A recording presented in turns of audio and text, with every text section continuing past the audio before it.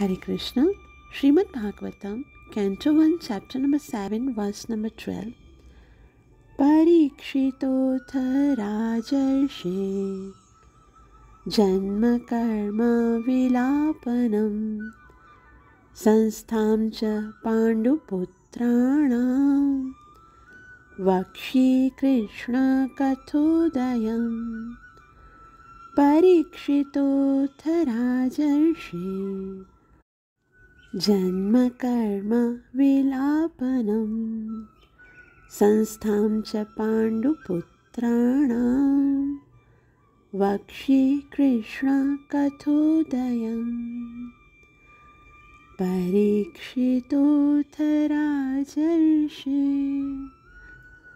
जन्मकर्म संस्थां च पाण्डुपुत्राणां। वक्षे कृष्णकथोदयम्